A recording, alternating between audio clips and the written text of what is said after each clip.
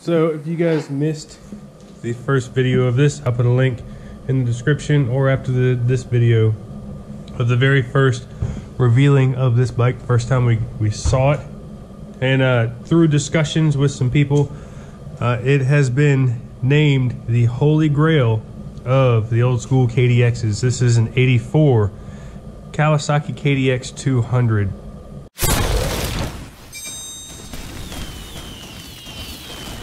We first got it, we thought it was an 87 because we didn't know any better. And the tag down there actually says, this 1984 motorcycle, blah, blah, blah, blah, blah, blah, blah.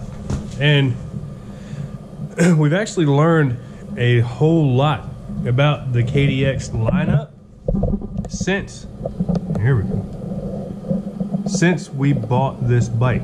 We paid $275 for this thing and it's a first kick bike. It literally starts first kick every single time. Just show you guys it is a first kick bike.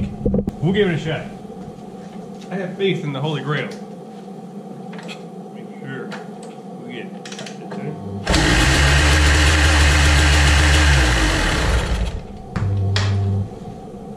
I was wondering why. So that's why this this bike is going to be named the Holy Grail this is it. So for 275 bucks, um, we literally got a first kick bike. So what we're gonna do in this video is something we haven't done that we didn't do in the other one because uh, we just wanted to see if we could actually start it for as cheap as it was. We're gonna do a walk around on the bike. We've already obviously taken the plastics off the tank and everything and uh, show you all just exactly what we're working with. We're gonna scope the jug to see what the piston looks like and the, the uh, jug itself internally. We're to take the air filter off and see what the air filter looks like. From what I was told, this bike has been sitting for five years. The guy said his buddy had it uh, sitting under a lean-to uh, for a couple years, and he had it sitting in his garage for a few more years after that. They weren't into dirt bikes. He just got it into a trade, got it in a trade, and uh, really didn't want to mess with it. He knew it was sitting so long and it needed some kind of work to get it uh, running again.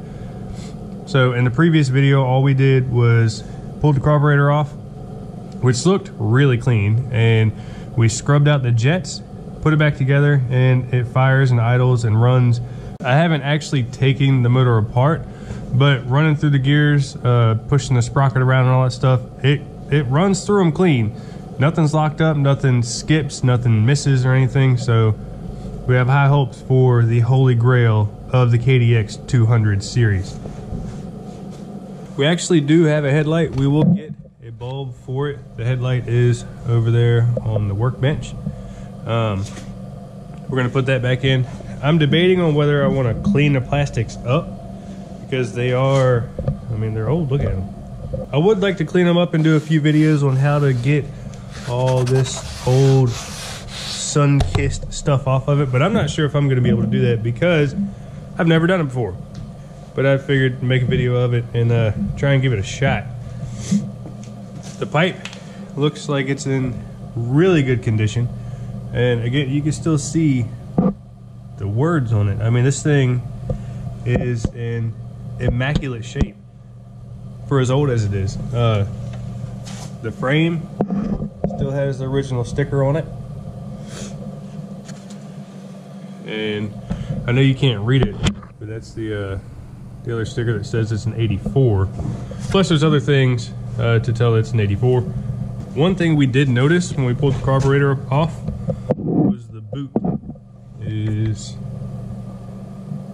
it's cracked and dry rotted so we will on another video uh, I'll do a replacement of this and I don't know if we'll do another carb clean or not video of that uh, area. We also want to check the reeds and possibly replace, replace them. If this is in any kind of shape like the rest of the bike, we probably won't have to touch it. So just some surface rust. We're gonna clean that up. We'll probably sand it down a little bit. The muffler, I mean, you can still read. uh, from 1984. You can still read it. That's that's pretty good. The tires are in good shape, although, I mean, it's been sitting, so we are going to replace them. This thing is, it hasn't been ridden at all. Look, I mean, it's just, jeez. The rear brake does grab a little bit. So we will be replacing the rear brake drum assembly and the brakes inside and all that. We have chain sprockets, obviously that's uh, something that's kind of a given we're gonna do. The rear shock, I'm not sure if we're gonna rebuild this or not. These things are really cool because that's an air nozzle. So you can pump air into it just like the front forks and uh, adjust the compression on it. I don't think they have a rebound for it. I think it's just uh, the compression. I have to look a little bit more into these these new Uni-Trak shocks. This was like top of the line thing. Everybody loved it when Kawasaki came out with this on their KDX line. So we're gonna look more into that. The electronics, they don't work. Like this, this does not come on for some reason. And this is actually to track your lap times uh, when you're out running a hare scramble or an enduro or something like that. Because this was a trail bike, this wasn't made for motocross. So these actually on the 84s, they didn't work that well. Sometimes after like a two, three hour long race, they were about 10 seconds off overall. But we'll uh, we'll get to this. We'll we'll try and learn about the electronics and all that once we get there. Enduro Engineering bark busters on it. I did clean this up a little bit. It did not look this shiny, trust me. the forks look okay. Like I said, we haven't ridden this thing yet, so we're not really sure about it. We did a little buff job on this. We're gonna take the forks off and really clean them up. That's what it looked like before. We're gonna buff them out and get them all nice and shiny. Same thing with the tires and rims. Front tire, it's the same as the rear. The thing looks immaculate. I mean, it's just, it's awesome.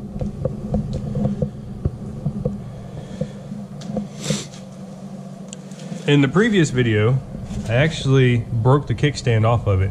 I think just because it was sitting so long on it. So what I did, I pulled it off where it broke. Uh, yep, you can see it broke right in here. Welded that together, uh, painted it. I actually cleaned the entire thing, painted it and all that stuff, and it's good to go. It kind of sticks out a little far for my taste. I might have to modify that a little bit to push it back in some. But that is, uh, that's okay.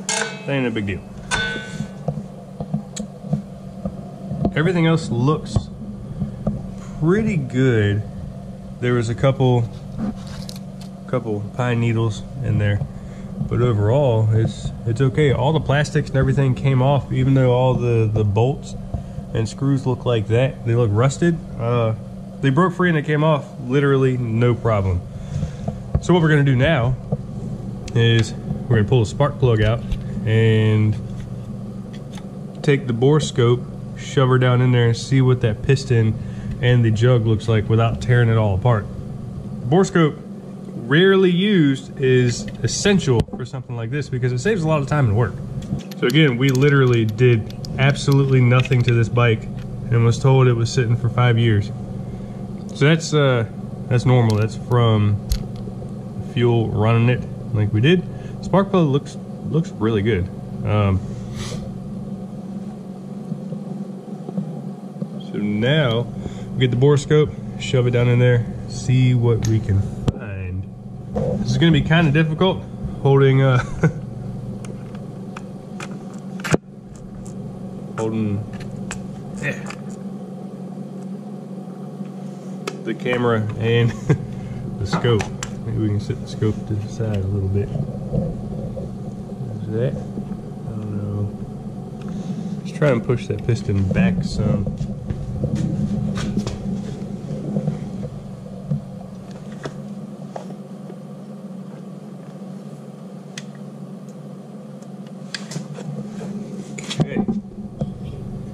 This is going to be kind of hard for everyone to see, but I'm not seeing any carbon buildup. literally looks like it hasn't been uh, used.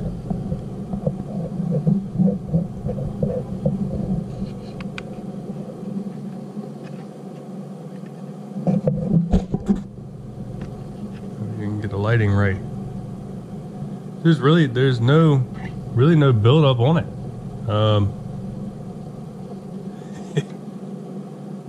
which is is a huge plus for us. So I'm going to adjust the light a little bit. So it kind of looks like the top end uh, is new, like really new, like uh, maybe just an hour or two or three old. Uh,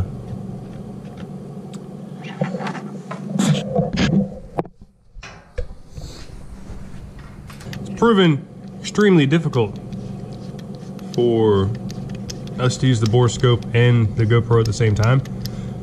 So we're gonna put the plug back in here. And we'll, we'll look at the jug a little later. Maybe we can get some assistance with the camera and uh,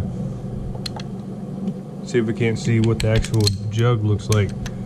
But to my surprise, that uh, that piston definitely looks extremely new, like uh, barely ridden at all. Because usually you have carbon buildup, carbon deposits on it. There'll be a black area where the spark ignites, you know, a little explosion area. Um, that's that's pretty cool. That's that's uh, one step closer to the Holy Grail.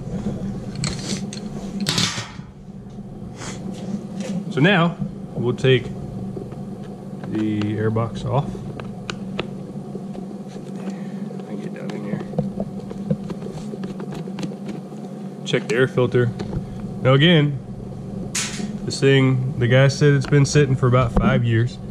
Um, I'm gonna assume the air filter is probably just junk. I mean, it's probably gonna be frayed and uh, But the rest of the bike has surprised us.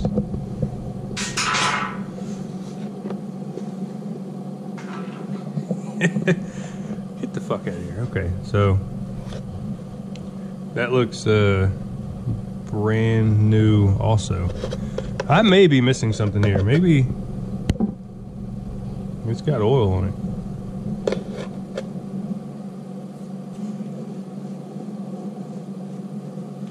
Honestly, I have no idea what to say right now. So I really don't. We're gonna pull this off. Uh, we act, we do have another air filter coming for it, just because, like I, I'm, I want to do the basic maintenance for the bike. So obviously, an air filter is high on the priority list when you get a bike that supposedly had set for five years. Uh,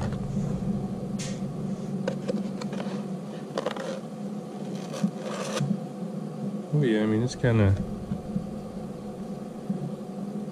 you can tell it's old. It feels old and kind of dried, but Jesus, look at that thing. That it doesn't even have a like a a ride on it. I mean, okay, let's continue. So one thing I always do with my air filters, and a lot of people that race do this. Uh, they'll put a liner inside the filter. I, I usually use uh, a thick based grease. grease just helps seal around the actual uh, seal of the air filter and it keeps everything out of it. So the air filters, they come pre-oiled. The ones that I get usually come pre-oiled. So uh, what we do to add to the longevity of that and to help uh, prevent problems with the carburetor, problems with the reed or the head or the, the motor essentially is I'll put a layer of grease or something around the base for for a better seal. So this this is going to be a selling point for me. if this thing has been taken care of, it's going to have some kind of a seal around it. I don't really expect to see one because uh, most of the bikes that I encounter that I get They're they're, they're just kind of trash, so we fix them up and we sell them. Or even friends' bikes are not in that great of a shape, so I put the seal around them. You know, just just an extra thing, and tell them about it so they can do it later on. So.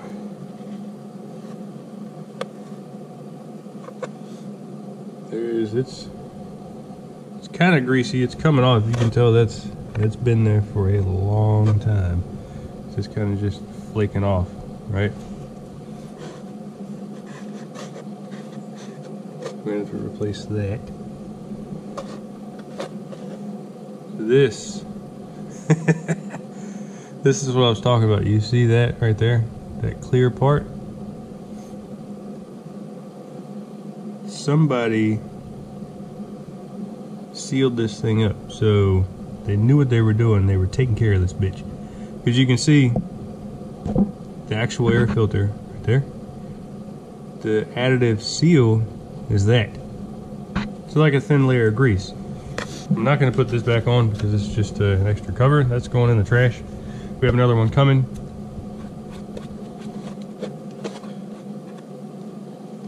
I'm going to assume the reeds are okay. But again, I want to pull them out just to see. And uh, this just clarifies what we have been told. We have literally found the holy grail of the KDX 200 vintage lineup. This thing is in immaculate shape. And uh, fortunately for us, it was only 275 bucks. So we'll put probably I don't know, five to eight hundred bucks into it, depending on how much I really want to spend, um, and be able to ride. We can ride it right now, uh, but I want to try and figure out the plastics.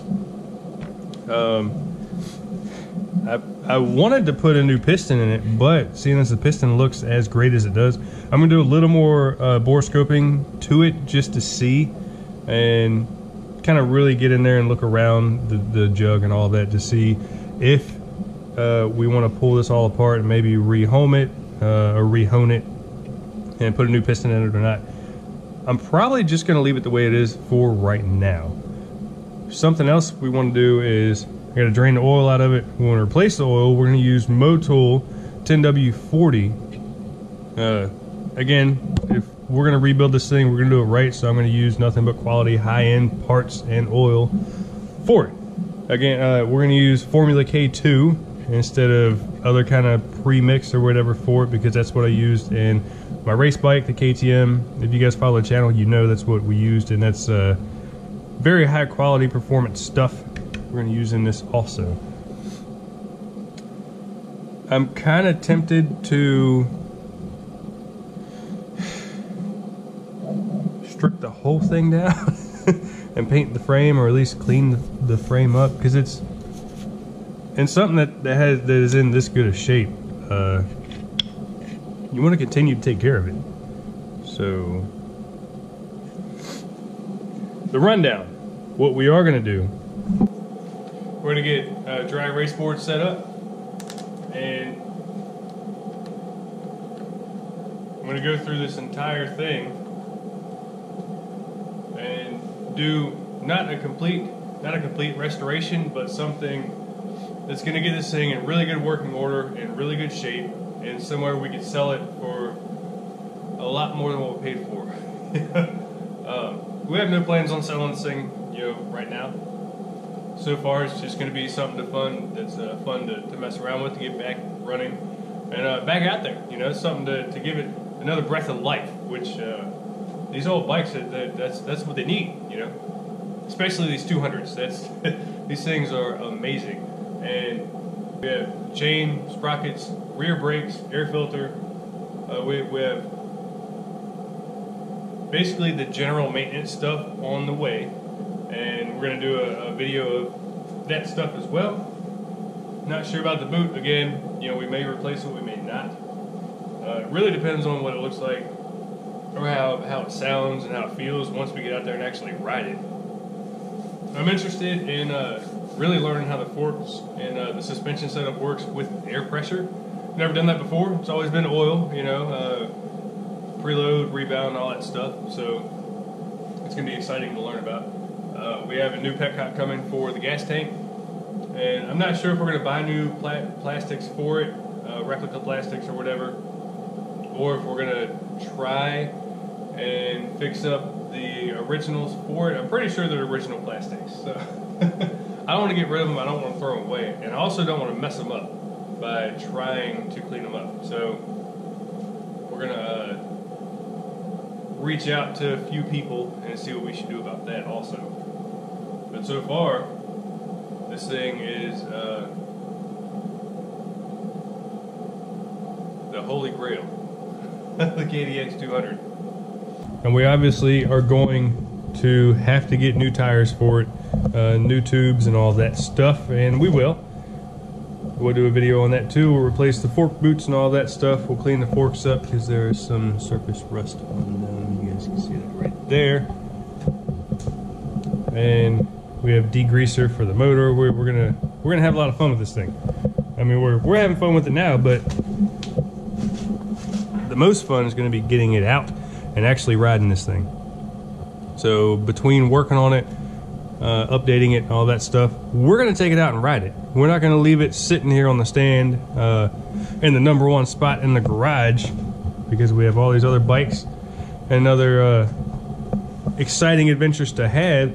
We can't leave this amazingly awesome running bike, the Holy Grail KDX 200s, just sitting because it's it's ready. It wants to stretch its legs. It wants to get out in some trails and get muddy and dirty and have a good time. And that's what we're gonna do with it. So don't think all these videos are just gonna be like this of me talking and you guys just looking at the bike, you know, all in pieces. We're gonna uh, do some work to it and we're gonna get it out and we're gonna ride it. And we're gonna do some more more work to it, get out and ride it. You know, it'll be a lot of back and forth thing. But we are gonna uh, have a, a list set up on one of the tool chests, maybe the, the new red one in the back, probably on the side or something, of uh, dry race boards, literally putting down everything we bought for it and uh, how much it's, it's really going to cost overall um, through this entire project. So we'll have video updates on that as well and um, really get in depth with this bike because the more I'm learning about these things, the more excited I'm getting about them, and the more I, in depth I look at this bike, the more excited I get about it because it's it's in amazing condition, especially for two hundred seventy-five dollars. So make sure you hit the like button and subscribe down below. Uh, there should be a video around here in one of these squares of us getting this bike off the truck and pulling it in and starting it the first time. And uh, I think maybe with the plat, I don't want to ruin the original plastics. They're right over there uh, with putting any kind of numbers or anything on them. So I may do aftermarket set of plastic just for the video series or just for, for us riding this bike and have the Holy Grail put on it uh, with some graphics and all that stuff. I'm not sure yet, but that's uh, that's a goal. If you like that idea, uh, give me a thumbs up, or, or, let me know what kind of graphics you like you would like to see on the bike. Um, I'm open to all different kinds of ideas. I don't mind. Um, I'm you know doing some kind of really cool stuff. I do want to save the original stuff though, so that that will be packaged up and be put off to the side, and the aftermarket stuff will be put on it, and then uh, taken off if we decide to sell it or if we want to take it somewhere or you know whatever. So anyways, appreciate you guys watching. Hit the like button and subscribe. Till next time, this is the Holy Grail of the KDX 200s.